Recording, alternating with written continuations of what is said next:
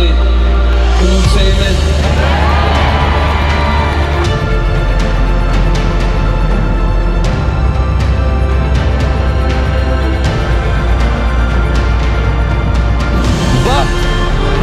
He was wounded for our transgressions. He was bruised for our iniquity. And the chastisement of our peace was upon him stripes we are healed. We are healed.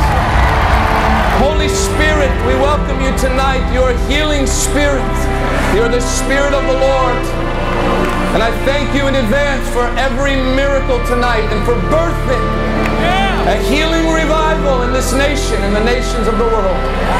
In Jesus' name, amen. Amen. Thank you.